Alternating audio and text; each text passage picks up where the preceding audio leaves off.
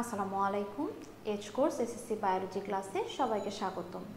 এখন আমরা আলোচনা করব জীববিজ্ঞানের জীবের প্রজনন অধ্যায় নিয়ে।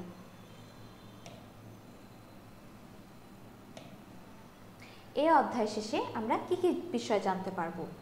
প্রজননের ধারণা ও গুরুত্ব ব্যাখ্যা করতে পারব। প্রজনন অঙ্গ হিসেবে স্কুলের কাজ বর্ণনা করতে পারব সপুষ্পক উদ্ভিদের জীবনচক্রের সাহায্যে উদ্ভিদের যৌন প্রজনন ব্যাখ্যা করতে পারব এবং প্রাণীর অযৌন যৌন প্রজনন সম্পর্কেও জানতে পারব। এছাড়া প্রজননের প্রকৃতি কেমন হয় বহি ও অন্তনিষেকের পার্থক্য কেমন হয়, ব্লক চিত্রের সাহায্যে মানুষের প্রজননের ধাপসমূহ জানা যাবে, প্রজনন কার্যক্রমে হরমোনের ভূমিকা সম্পর্কেও জানা যাবে। এছাড়া আছে মানব ভ্রূণের বিকাশ মানবদেহে এইডসের সংক্রমণ কারণ, লক্ষণ প্রতিরোধ ও প্রতিকার।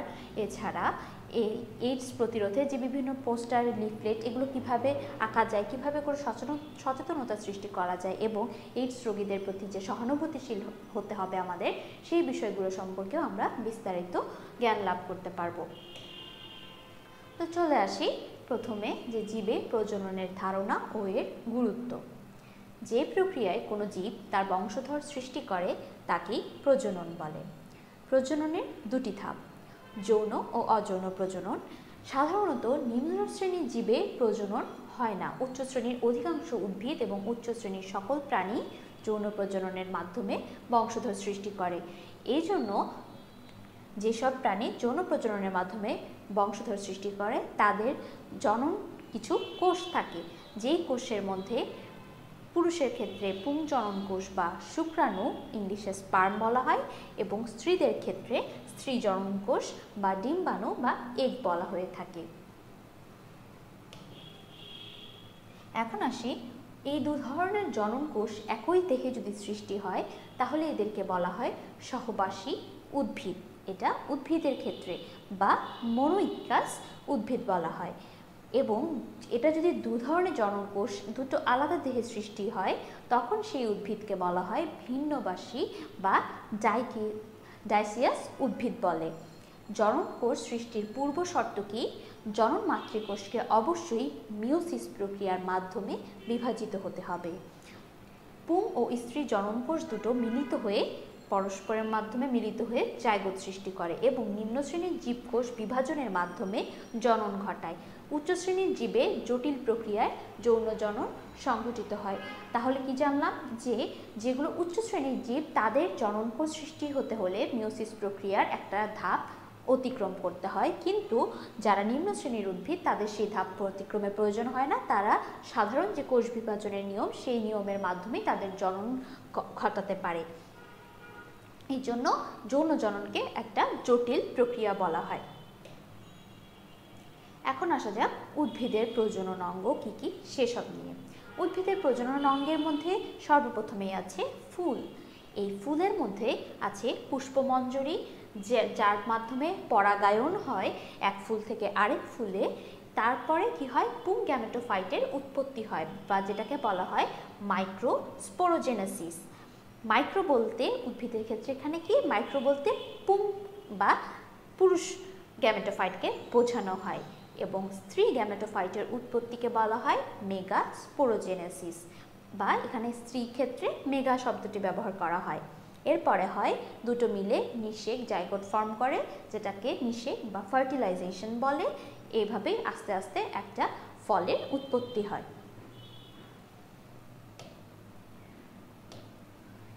এরপরে আসি ফুল, যে ফুলের হচ্ছে উদ্ভিদের প্রজনন একটা প্রধান অঙ্গ ফুল, সেটার বিভিন্ন অংশ কী কী?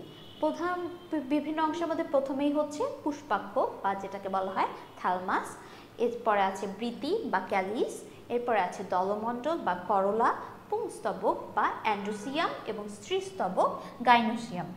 আচ্ছা এখানে দেখো একটা ফুলের বিভিন্ন অংশের যে একটা লম্বচ্ছেদ করলে আমরা যে যে অংশগুলো পাই, সেটা দেখানো হয়েছে। যেমন কি বাইরেটা তো আমরা সবাই জানি, ফুলের পাপড়ি। এরপরে আছে, এটা পরাগ দণ্ড, এর মধ্যে পরাগ ধানি, যার মধ্যে থাকে ধানি মানে ধারণ করতে পারে এরকম। এর মধ্যেই থাকে হচ্ছে পরাগ রেণু। এই পরাগ ধানি আর পরাগ দণ্ড মিলে তৈরি হয় পুংকেশর। এছাড়া আছে ছোট বৃত্তাংশ এবং পুষ্পা, পুষ্পাংশ। এবং ভিতরে যে স্ত্রী স্তবকটা থাকে, সেটার মধ্যে থাকে এখানে গর্ভমুণ্ড যেটা দিয়ে হচ্ছে যে যখন পরাগায়ন হয়, তখন পরাগধানীগুলো এই গর্ভমুণ্ডে পতিত হওয়ার পরে গর্ভদণ্ড হয়ে এই ফুলের স্ত্রীস্তবকের গর্ভাশয়ে প্রবেশ করে এখানে মূলত এই পুংস্তবক আর স্ত্রীস্তবক যে বা পুং গ্যামের পুং মেগাক্যারিওসাইট এবং স্ত্রী মেগাক্যারিওসাইটের নিষেক বা ঘটে, যেখানে জায়গট ফর্ম হয়ে পরবর্তীতে এই ফুল থেকেই ফল তৈরি হয়। এখন আসা যাক পুংস্তবকে যেটা অ্যান্ড্রোসিয়াম পুংকেশর যেটা দুটো দুটো ভাগ আছে পুংদণ্ড বা পরাগদণ্ড বা যেটাকে ফিলামেন্টো বলে। এছাড়া আছে পরাগধানী বা পরাগথলি বা যেটাকে অ্যান্থারো বলা হয়। এছাড়া আছে যোজনী, যেটা পরাগধানী ও পুংদণ্ডকে সংযোগকারী একটা অংশ। এরপরে আছে পরাগনালী বা এটাকে পোলেন টিউবও বলে। এবং আছে পরাগদণ্ড যেটা তিন ধরনের হয়ে থাকে, একগুচ্ছ, দ্বিগুচ্ছ এবং বহুগুচ্ছ বা এটাকে ইংলিশে বলে মনোডেলাফাস, ডাইডেলাফাস এবং পলিডেলাফাস। এবং এগুলোর উদাহরণগুলো গুরুত্বপূর্ণ যে একগুচ্ছের উদাহরণে আমরা সাধারণত বলতে পারি, জবাকে দ্বিগুচ্ছের মধ্যে আছে মটর এবং বহুগুচ্ছের মধ্যে আছে শিমুল ফুল। এখন এখানে ছবিতে দেখা হচ্ছে যে পুংকেশর যে বিভিন্ন সজ্জায় সজ্জিত থাকে, সেগুলো আঁকা যেমন এই যে প্রথম ছবিটা, এটা দিয়ে বোঝানো হচ্ছে একগুচ্ছ এবং এখানে বোঝানো হচ্ছে দ্বিগুচ্ছ। আর এই ছবির মাধ্যমে বোঝানো হচ্ছে বহুগুচ্ছ এবং এখানে দেখা যাচ্ছে আমরা যুক্তধানী। এখানে পরস্পর পাশাপাশি যুক্ত হয়ে আছে এই পরাগদণ্ডগুলো, এই জন্য বলা হয় যুক্তধানী। এবং এই জায়গাটাকে বলা হচ্ছে দল লগ্ন এগুলো পাশাপাশি এক, একটা দলের মতো আকারে ধারণ করে আছে, এই জন্য দল লগ্ন এখানে ছবিতে পুংস্তবক বা একটা অ্যান্ড্রোসিয়াম কেমন হয় সেটা হচ্ছে দেখানো হয়েছে, এটা ঠিক আগের ছবির মতনই যেটা।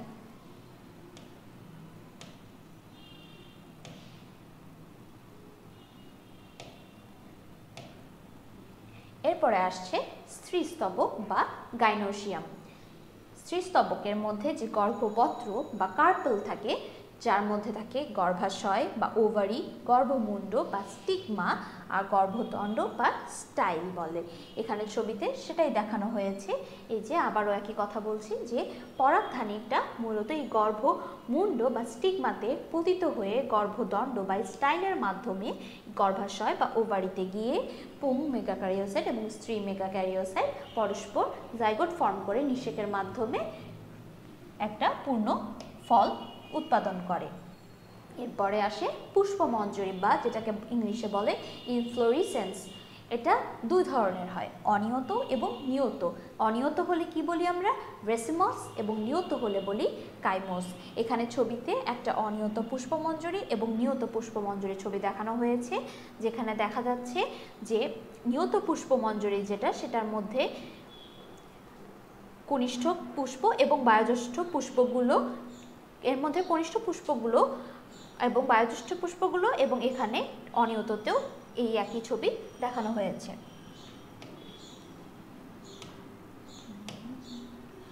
পরে হচ্ছে বলছে পরাগায়ন বা যেটাকে আমরা ইংলিশে বলতে পারি পলিনেশন সেটা কি? পরাগায়ন হয় হচ্ছে দুই ধরনের, একটা স্বপরাগায়ন, একটা হচ্ছে পরপরাগায়ন। স্বপরাগায়ন কি? একই ফুলে বা একই গাছের ভিন্ন দুটি ফুলের মধ্যে যখন পরাগায়ন ঘটবে, তখন তাকে বলা হয় স্বপরাগায়ন। যেমন সরিষা বা ধুতুরা জাতীয় ফুলের মধ্যে যে পরাগায়নটা ঘটে, অর্থাৎ স্ব নামের মধ্যেই আছে যে একই গাছের এবং কিংবা একই ফুলের একই ফুলে বা একই গাছের ভিন্ন দুটা ফুলের মধ্যে, কিন্তু সেটা হতে হবে একই গাছের মধ্যে। পাশাপাশি অন্য দুটো গাছের মধ্যে হলে হবে না। এবং এই সব পরাগায়নের উপকারিতাটা কি? এটা খুবই গুরুত্বপূর্ণ। পরাগ রেণুর অপচয় এক্ষেত্রে কম হয়। পরাগায়নের জন্য বাহকের উপর এটাকে কোনো নির্ভরশীল হতে হয় না এবং পরাগায়নটা সঠিকভাবে নিশ্চিত হয়। এর ফলে নতুন যে উদ্ভিদ উৎপন্ন হয়, তাতে বৈশিষ্ট্যেরও কোনো পরিবর্তন দেখা দেয় না। প্রজাতির চরিত্রগত বিশুদ্ধতাও বজায় থাকে। অর্থাৎ যেহেতু যে গাছ, সেই গাছেরই পরস্পর দুটি ফুল বা একই ধরনের, একই গাছের ভিন্ন দুটি ফুলের মধ্যে পরাগায়নটা ঘটছে। সেহেতু এখানে পরাগ যে তাদের এক চরিত্রগত যে বৈশিষ্ট্যগুলো থাকছে, সেগুলো একই রকমই থাকছে। এই জন্যই বলা হয়েছে প্রজাতির চরিত্রগত যে বিশুদ্ধতা, সেটা এখানে বজায় থাকে, যেটা সব পরাগায়ন এটা খুবই গুরুত্বপূর্ণ উপকারিতা।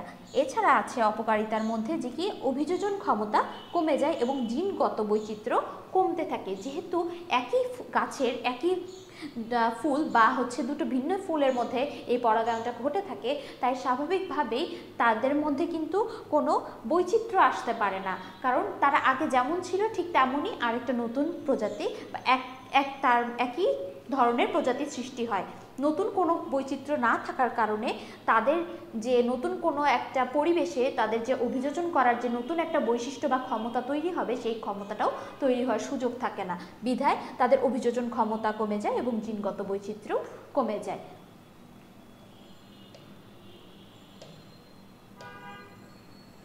এরপরে আসছে পরপরাগায়ন। একই প্রজাতির দুটি ভিন্ন উদ্ভিদের ফুলের মধ্যে যখন পরাগ সংযোগ ঘটে তখন তাকে পরপরাগায়ন বলে, যেমন শিমুল এবং পেঁপে জাতীয় উদ্ভিদ। পরপরাগায়নের উপকারিতা কি?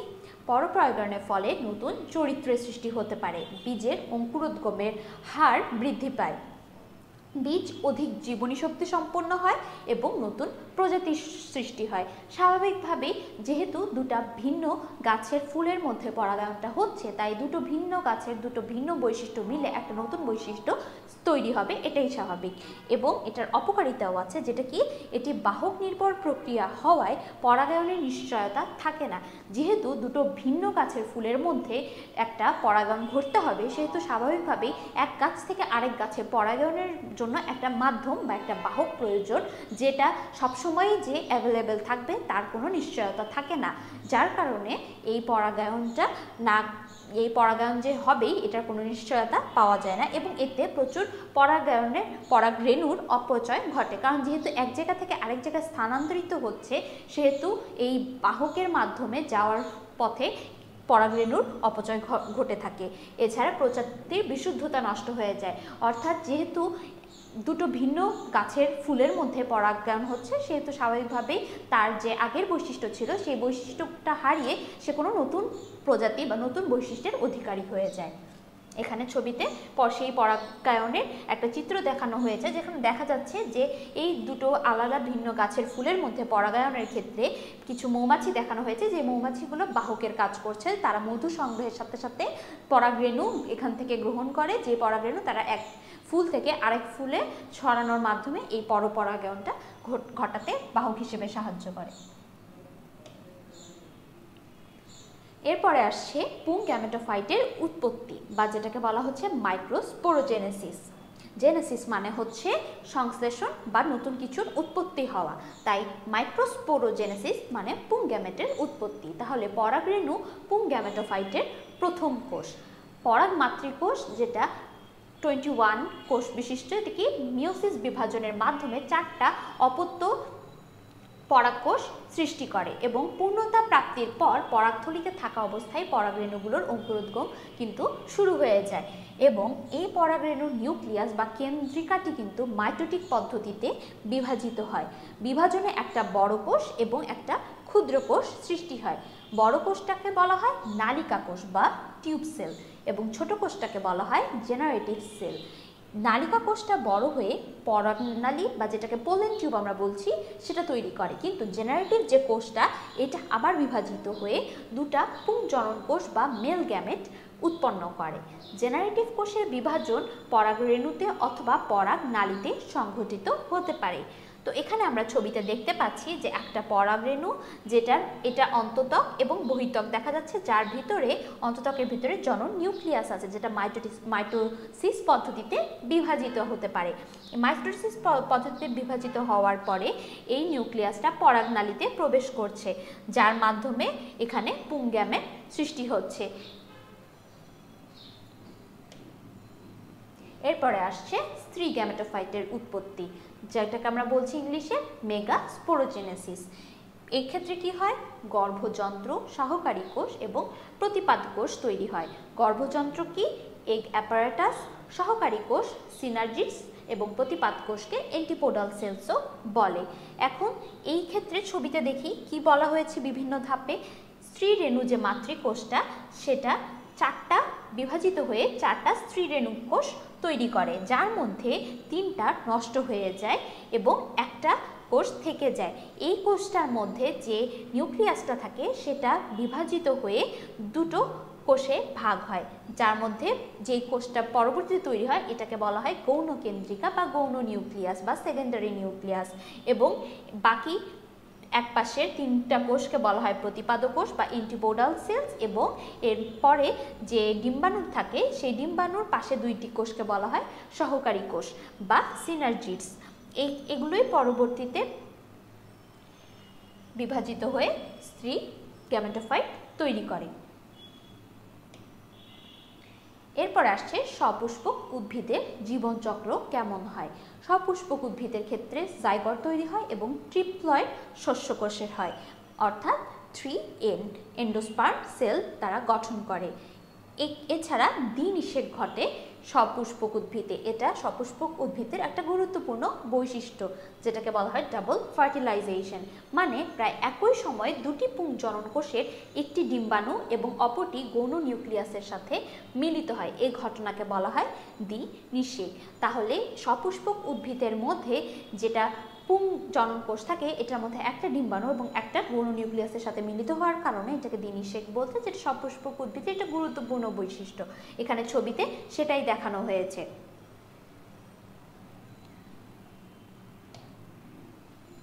এরপরে আসছে নতুন স্পোরোফাইট বা development of new sporophyte.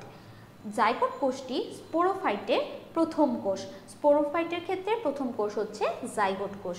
এক্ষেত্রে ভিত্তিকোষ বা যেটা ব্যাজাল সেল থাকে সেটা কি? সেটা ডিম্বক্রন্থের দিকের কোষকে ভিত্তিকোষ বলে এবং অ্যাপিকাল কোষ বা ভ্রূণথলির কেন্দ্রের দিকের কোষকে বলা হয় অ্যাপিকাল সেল এছাড়া থাকে সেকেন্ডারি কোষ প্রতিপাদ কোষ এবং শস্য কোষ এখানে ডিম্বকের গঠন এবং নিষেক প্রক্রিয়ার মধ্যে সেগুলো দেখানো হয়েছে যে এক পাশের এই কোষগুলোকে বলা হচ্ছে প্রতিপাদক কোষ এবং এখানে নিউক্লিয়াসের সাথে দেখানো হচ্ছে সেকেন্ডারি নিউক্লিয়াসকে এবং এই ডিম্বাণু এবং এই ডিম্বাণুর পাশে দুই কোষকে সহকারী কোষ হিসেবে দেখানো হয়েছে। এরপরে আসছে প্রাণীর প্রজনন। প্রাণীর প্রজননটাও ঠিক দুটো ধাপে হয়ে থাকে, যৌন প্রজনন এবং অযৌন প্রজনন বা যেটাকে বলা হয় সেক্সুয়াল রিপ্রোডাকশন বা অ্যাসেক্সুয়াল রিপ্রোডাকশন তাহলে যৌন প্রজননটা আমরা কখন বলি? যে প্রক্রিয়ায় দুটি বিপরীত লিঙ্গের প্রাণী, পুং ও স্ত্রী জনন কোষ বা গ্যামেট উৎপন্ন করে এবং তাদের নিষেকের মাধ্যমে প্রজনন ঘটায় এবং সন্তান সন্ততি উৎপন্ন করে তাকে বলা হয় যৌন প্রজনন। এবং অযৌন প্রজনন কি? এটা কেবলই নিম্ন শ্রেণির প্রাণীর ক্ষেত্রে ঘটে থাকে, যেখানে অযৌন প্রজনন ঘটে কিসের মাধ্যমে?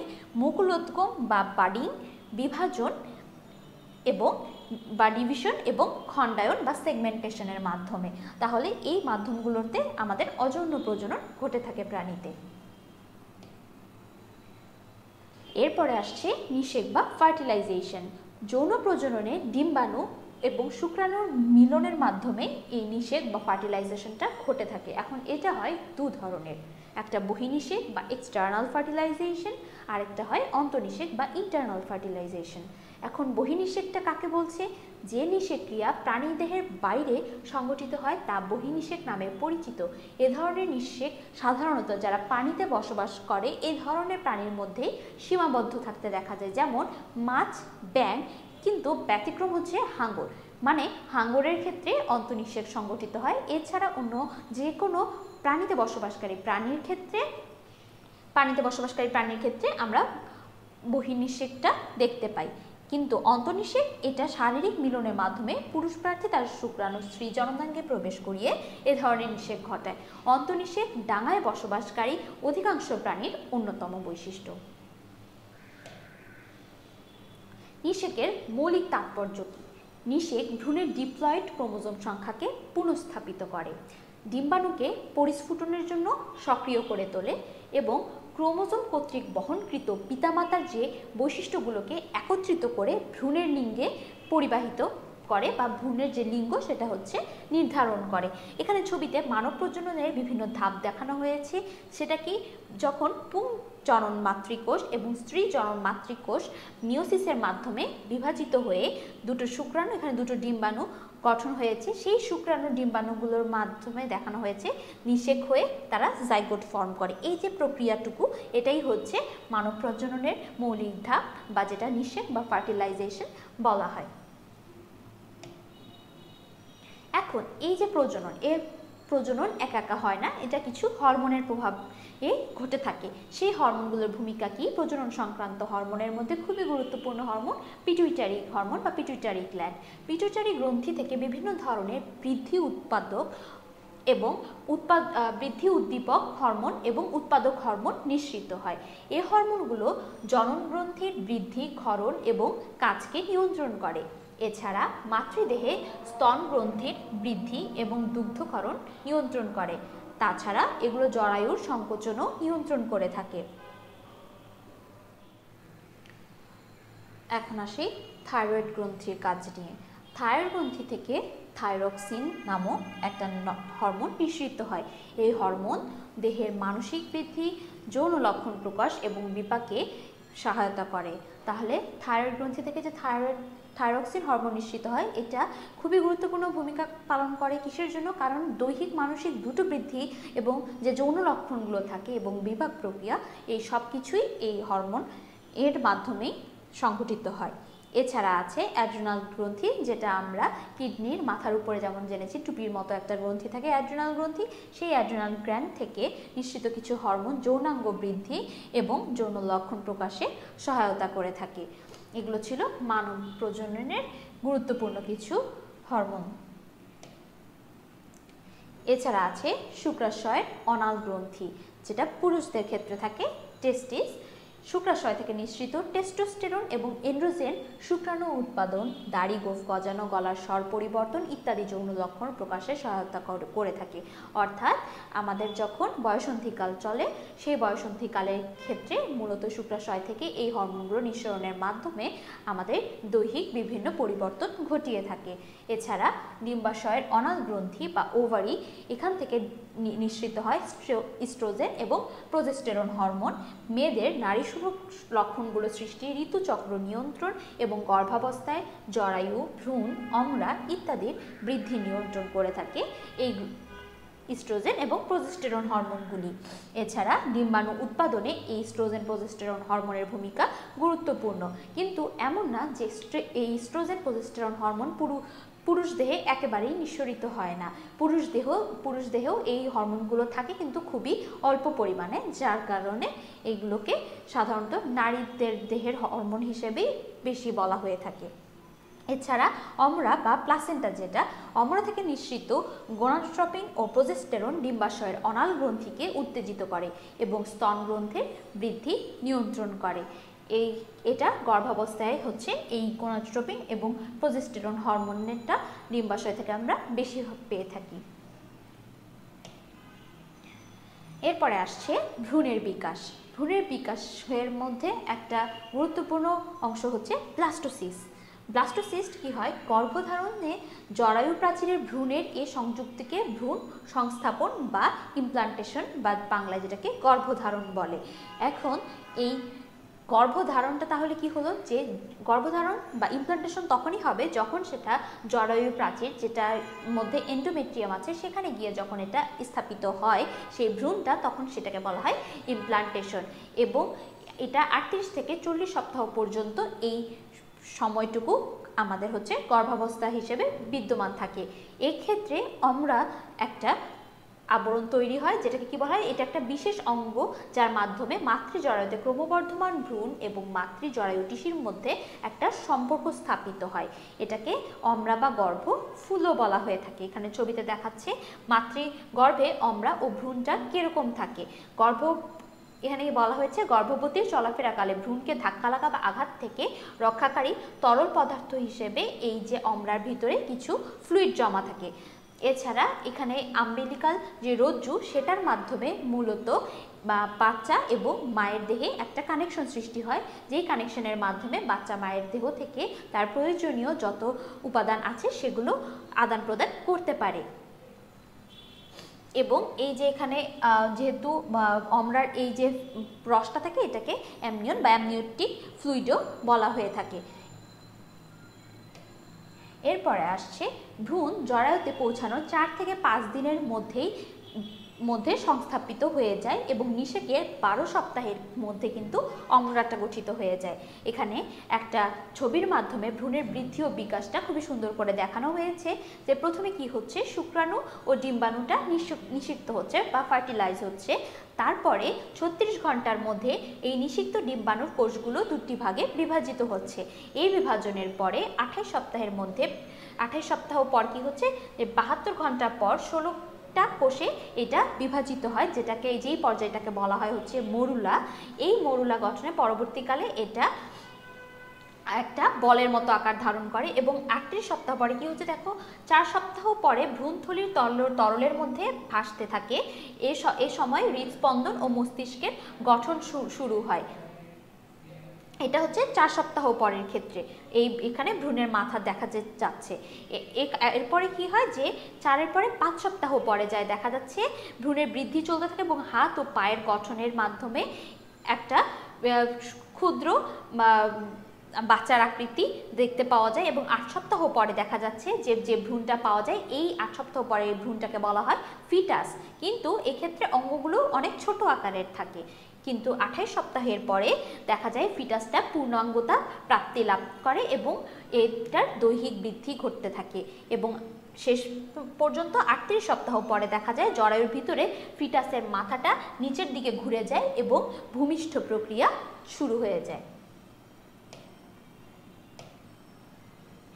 এখন আসা যাক প্রজনন যখন হয়, এর সাথে কিছু রোগও হতে পারে। প্রজনন সংক্রান্ত রোগগুলো তাহলে কি? যেমন এইডস এইডসের ফুল ফর্ম হচ্ছে অ্যাকিউট ইমিউনো ডেফিসিয়েন্সি সিন্ড্রোম। এটা খুবই গুরুত্বপূর্ণ। উনিশশো একাশি সালে এটা আবিষ্কৃত হয়। অ্যাকিউট ইমিউনো ডেফিসিয়েন্সি সিন্ড্রোমের শব্দগুলোর আদ্যক্ষর দিয়ে এটার নামকরণ করা হয়েছে, আমরা বুঝতেই পারছি। সারা বিশ্বে বর্তমানে প্রায় তিন কোটি সাতষট্টি লাখ মানুষ এইডসের জীবাণু দ্বারা আক্রান্ত। বিশ্ব স্বাস্থ্য সংস্থা বা ওয়ার্ল্ড হেলথ অর্গানাইজেশনের তথ্য মতে প্রায় একশো চৌষট্টি দেশে এই রোগের বিস্তার ঘটেছে। হিউম্যান ইমিউনোডেফিসিয়েন্সি ভাইরাস সংক্ষেপে যেটাকে বলা হয় এইচআইভি ভাইরাস যেটা সংক্রমণে মূলত এইডস হয়ে থাকে। এখানে এইডসের ভাইরাসের একটা ছবি দেখানো হয়েছে।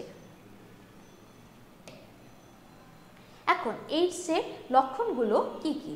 দ্রুত রোগীর ওজন কমতে থাকে। এক মাসেরও বেশি সময়ব্যাপী একটানা জ্বর থাকে অথবা জ্বর জ্বর ভাব দেখা যায়। এক মাস বা তারও বেশি সময় ধরে পাতলা পায়খানা হয়। অনেকদিন ধরে শুকনো কাশি থাকে, ঘাড় এবং বগলে ব্যথা অনুভব হয়, মুখমণ্ডল খসখসে হয়ে যায়, মুখমণ্ডল, চোখের পাতা, নাক ইত্যাদি অঙ্গ হঠাৎ করে ফুলে যায় এবং সহজে এ ফোলা কমে না এবং সারা দেহে চুলকানি হয়। এইডসের এগুলো হচ্ছে এইডসের গুরুত্বপূর্ণ লক্ষণ, কিন্তু এইডসের এই লক্ষণগুলো মোটেই ছোঁয়াচে নয়। অর্থাৎ কারও যদি এইডস হয়, এটা কখনোই একজনের দেহ থেকে আরেকজনের দেহে ছোঁয়াচ্ছে বা ছোঁয়ার মাধ্যমে পারস্পরিক স্পর্শের মাধ্যমে ছড়ায় না। এটা ছড়ায় মূলত বিভিন্ন যদি রক্তের মাধ্যমে বা যদি এইডসের ভাইরাস কোনো, কোনোভাবে তা, কারও দেহে যদি প্রবেশ করানো হয়, তবে এটা সম্ভব।